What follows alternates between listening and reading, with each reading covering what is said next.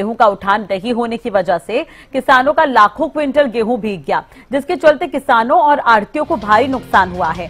बड़ी बात यह है कि एक दिन पहले ही आड़तियों ने उठान नहीं होने की वजह से मार्केट कमेटी का गेट बंद कर प्रदर्शन किया था, लेकिन इसके बावजूद भी मंडी प्रशासन नहीं जागा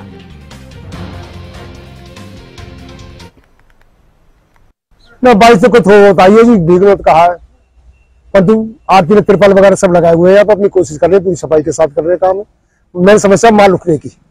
भीगा है कुछ गेहूँ नहीं भीगा। वो हल्की बढ़ती बारिश इतनी तेज है बारिश की तो कहना सही भीगने की तो कहेंगे ना हो मात्र। है तो। जी? हो है तो। तो जब तो नुकसान है जी। कितना गेहूँ अभी मंडी में पड़ा मंडी में कोई चार पाँच लाख कट्टा होंगे ठीक है दस पंद्रह परसेंट जाए उठा तो। इसमें सारी कमी एजेंसी की या ठेकेदार की है। आरती की जिम्मेदार की कोई कमी ना न मजदूर की।